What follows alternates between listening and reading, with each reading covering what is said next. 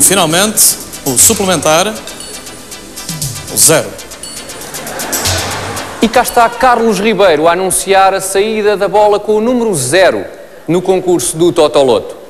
Divertido, mas foi apenas o início de um serão que viria a ser espetacular. Vamos ver. Uh, seria necessário fazer uma intervenção, neste caso, uh, em função uh, do número suplementar. Por favor. Pedimos desculpa, mas o zero não entra como número para o suplementar. Tem que se tirar outra bola.